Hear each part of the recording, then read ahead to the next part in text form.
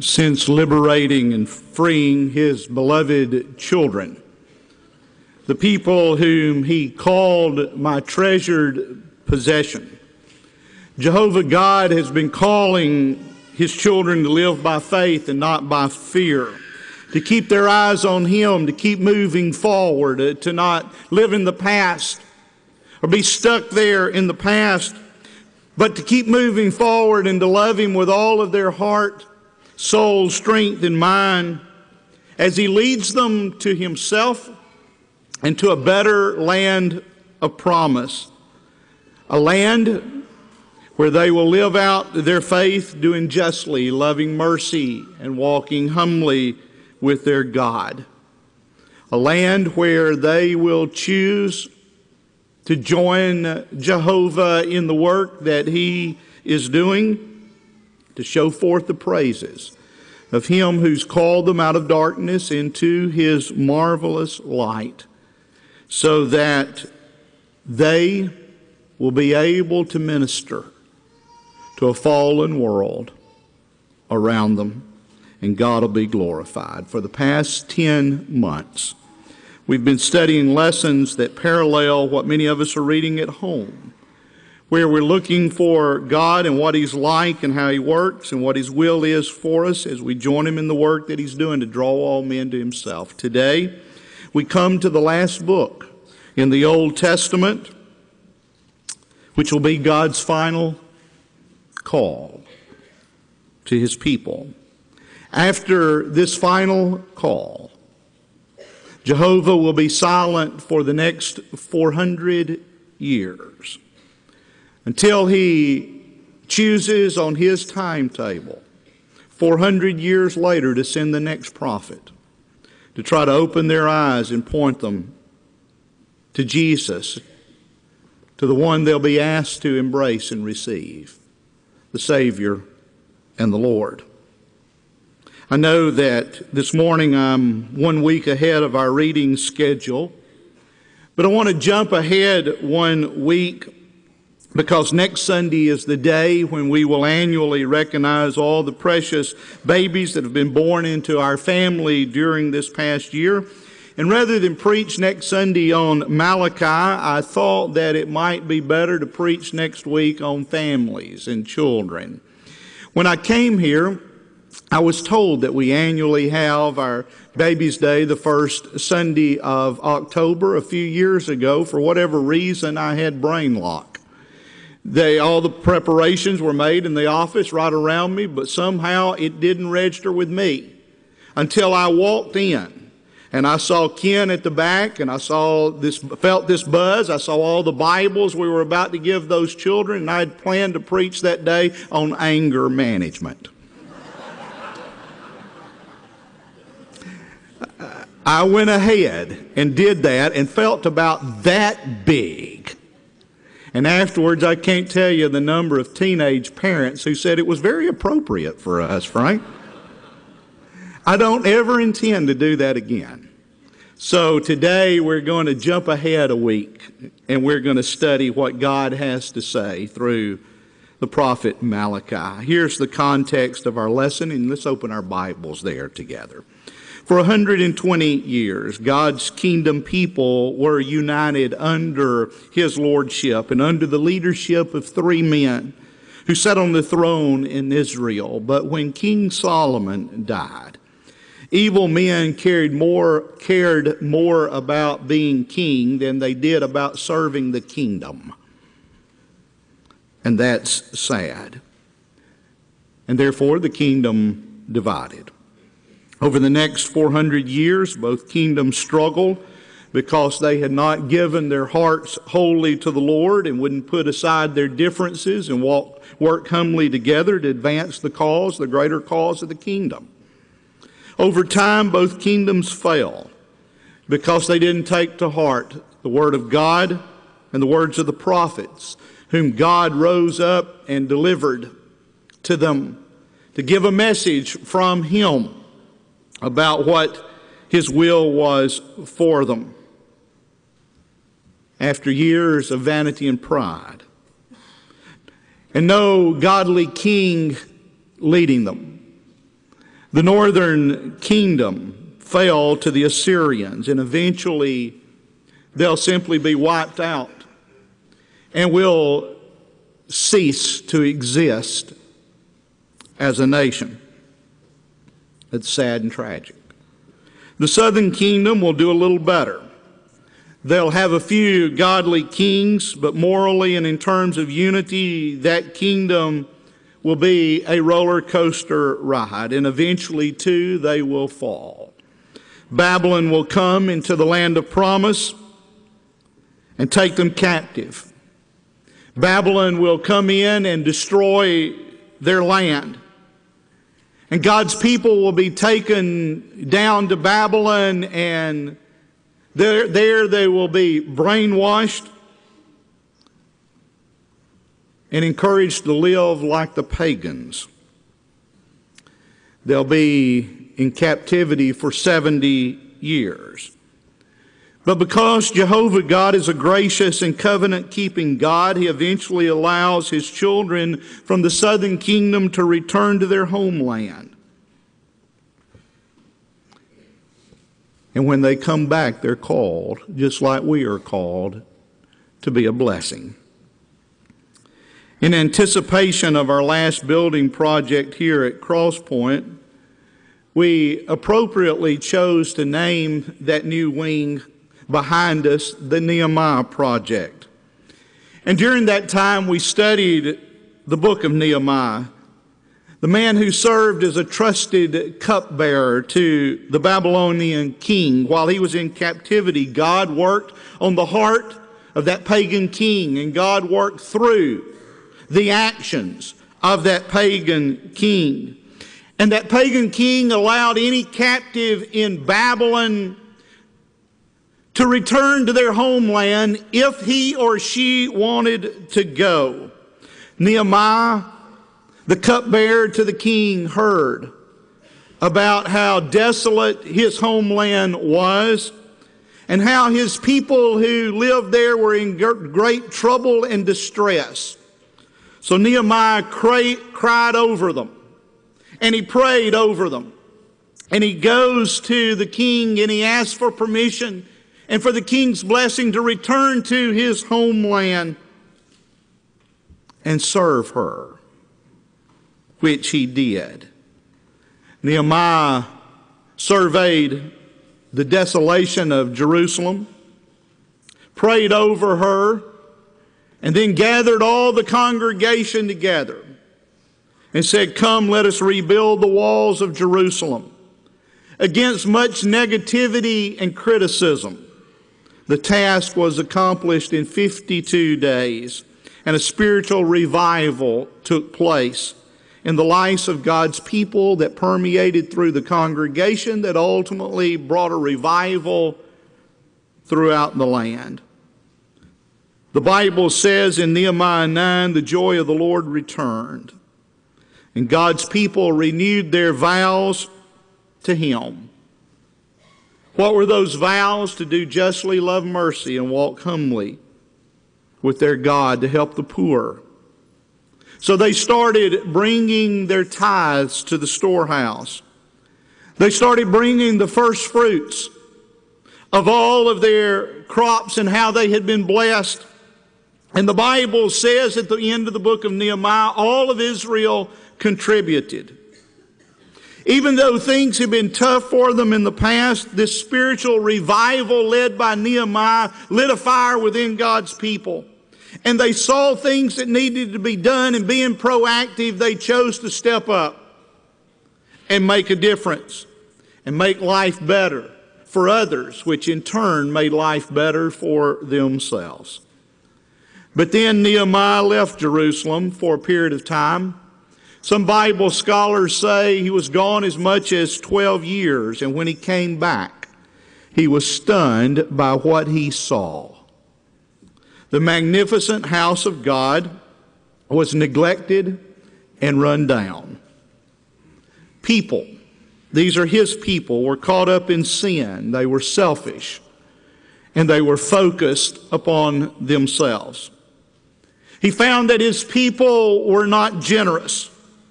Many of them had become cynical. Others of them had become apathetic. Those who were worshiping were bored. And they were just going through the motions in worship. And families and marriages were falling apart. I want you to look closely at that list. Look at it closely on the screen. Today, many preachers and many people compare what happened in Israel to what is happening today in America, and we can all see many similarities. But since you're the people of God, I want to ask you to listen very, very carefully. Biblically, Israel is never compared to America. Let me ask you if we are consistent with biblical theology, who would Israel most represent today? I hope you've got the answer in your brain. Listen, it is the church. That does not mean that we're not concerned about America. We love America. I love America. I am praying for a revival to sweep through America, but if it is going to, it's going to have to begin with the people of God. I believe with all of my heart that our prayer should be Second Chronicles 7:14.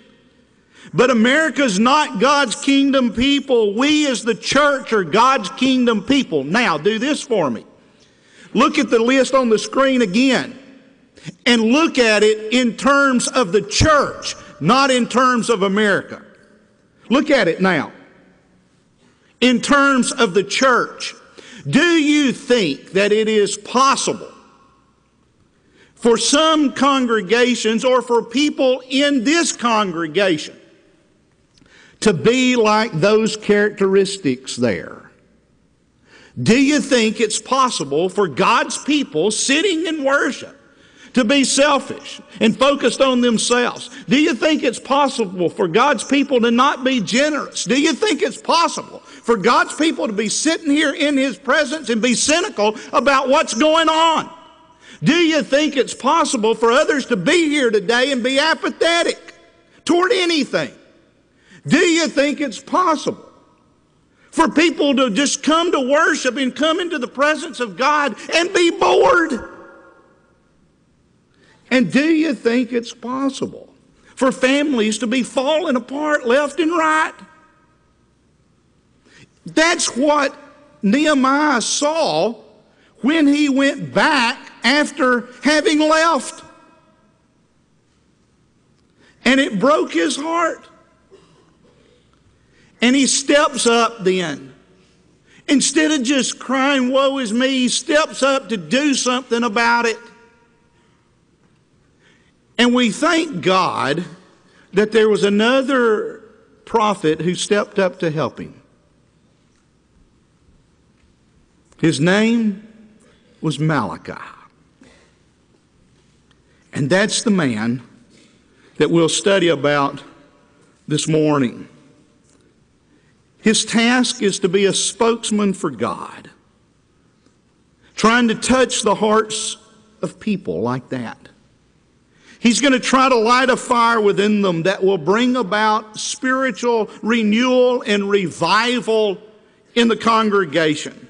Let me tell you a little bit about him. We know from chapter 3, verse 1, that his name means my messenger. As the messenger and spokesman for God, he's going to issue one final call to God's children. Two, in the words of Jehovah God, return to me. Return to me, return to my heart, and I will return to you, God says. One writer said Malachi's task was to light and rekindle the lamp of faith and fire in the hearts of disheartened people. And he tries to do it in a very unique way. Malachi had a unique style of preaching and teaching. Listen closely. His method was one of questions and answers. As a former teacher and now as a preacher, I've always been fascinated by different styles of both preaching and teaching. And there are many ways to get the point across. We studied how Ezekiel was to be an object lesson, Hosea, an object lesson. Many people learn best by seeing. Jeremiah, on the other hand, I can hear him crying as he preaches his heart out with tears streaming down his face. The harvest is past, the summer's ended, and we're not saved. And here comes a preacher who's going to dialogue with God's people. He's going to ask a question that comes from God, and the people are going to respond then to his question. It's a great way to get people to think. So let's look at how it goes. Jehovah God, the great I am, the loving, gracious, creative, saving God, will make this statement. He'll make a statement through Malachi, and then God's people will cynically respond, and they'll fire a question back to God. For instance, the book begins in verse 2 of chapter 1 with this statement from God to his people who've gotten off track. God says to them, I love you. I've always loved you.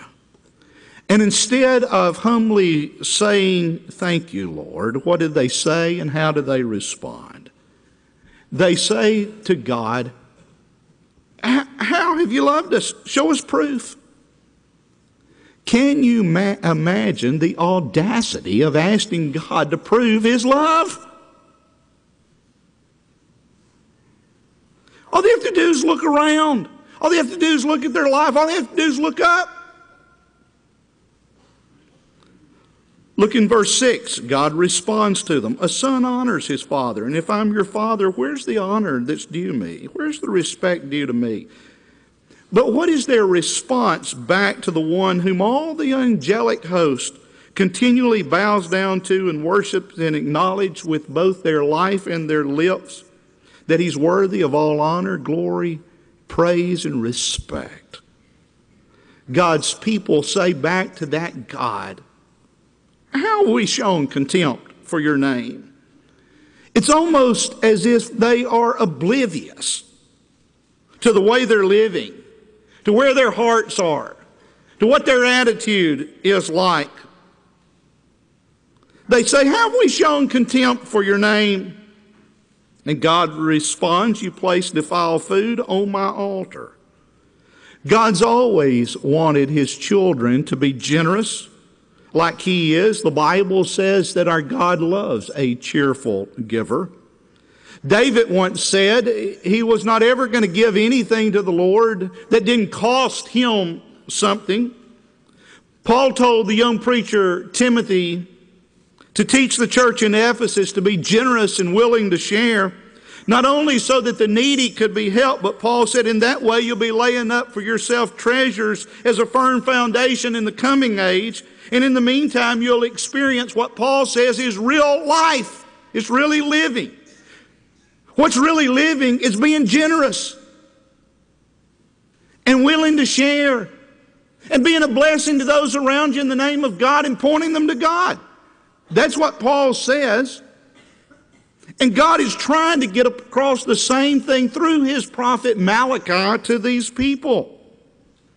He's trying to get them to give right off the top of their blessings to God and to help other people. But here, his people are just going through the motions. They're giving God the leftovers and the things they don't want for themselves. And they say to God, have we defiled you? They just don't get it. Turn with me to chapter 2 and look at verse 8. God, through Malachi, is specifically talking here to the priest to the people of God, to the men who are intercessors. And he says to them, You guys are supposed to be the spiritual leaders and setting the example, and you're supposed to be speaking and living for me and teaching and modeling before me to the people how to walk humbly and live for me. But you violated the covenant I made with Levi, and you're not modeling and doing what I put you here to do. And how did the priest respond? They say, Don't we all have one Father, and aren't we all your children? Why do we profane the covenant of our fathers by breaking faith with another? Did you catch that? They thought that being God's children was good enough. Just being able to claim the fact that they're children of God and in a spiritual lineage, but God wanted so much more for His people. He's always wanted our hearts, He's always wanted our attitudes.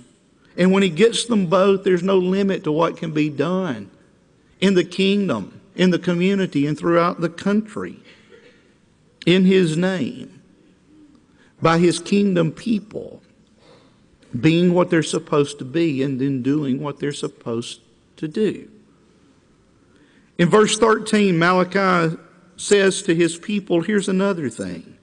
You flood the Lord's altar with tears. You weep and wail because God no longer pays attention to your offering or accepts them with pleasure from your hands. And they say, Why? And they start speculating on the root causes of why God's not pleased with the, they they come and now they're crying. But why? Why isn't God's heart touched?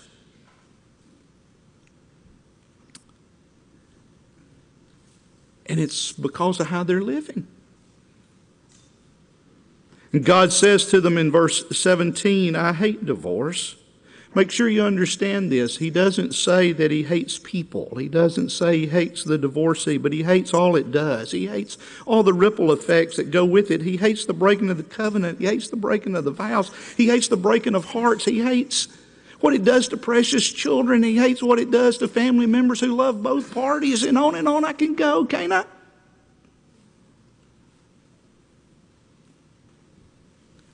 And so God says, guard yourself. Look at it, verse 16. Guard yourself in your spirit and don't break the faith. Underline that verse in your Bible if you're going to underline one here.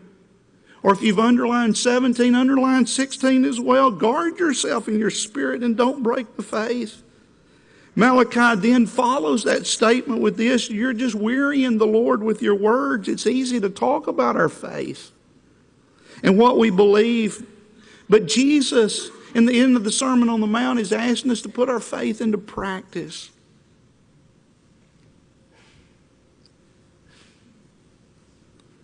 And yet, instead of being touched,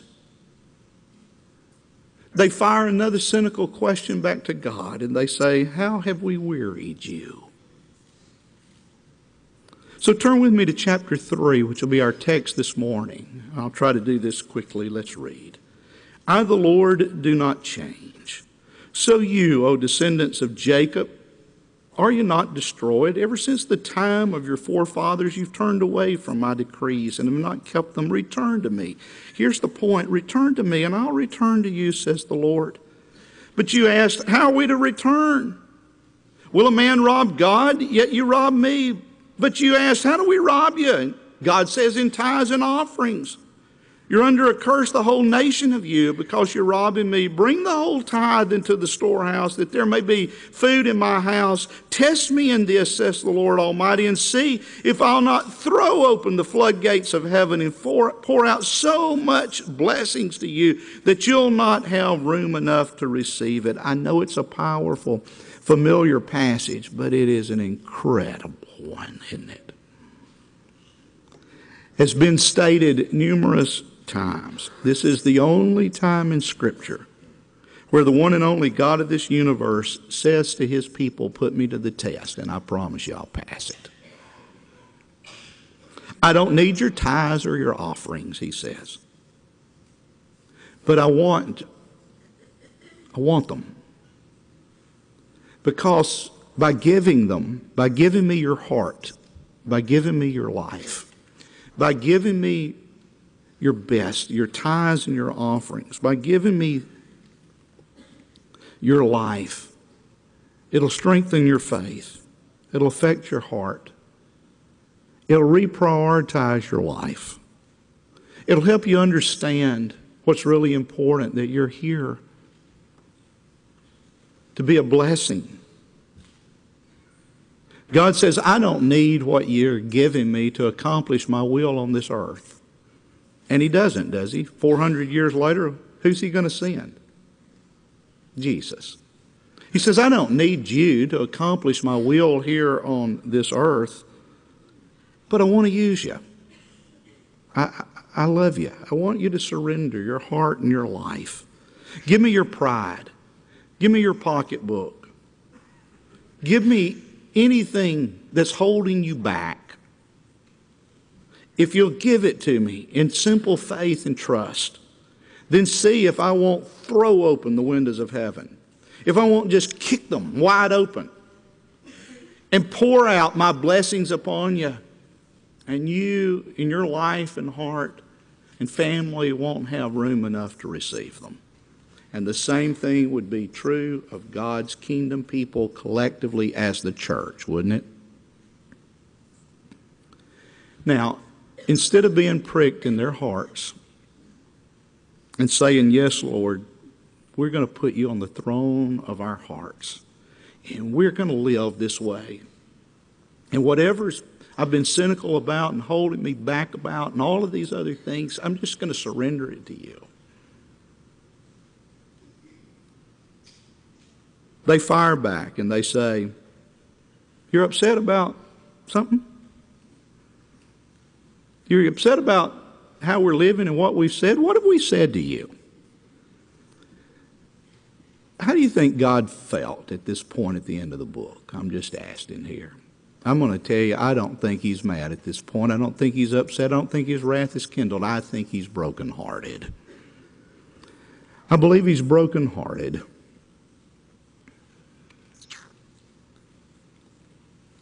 And I'll tell you why. It's at the end of chapter 3. God holds on to the hope that there are some faithful people still living in the kingdom who get it. They've heard this lesson from Malachi and they get together and they talk about it. Isn't that wonderful? It's wonderful when God's people do that. When they get together and talk about spiritual principles and kingdom living and, and things that are so much more important than what we typically talk about.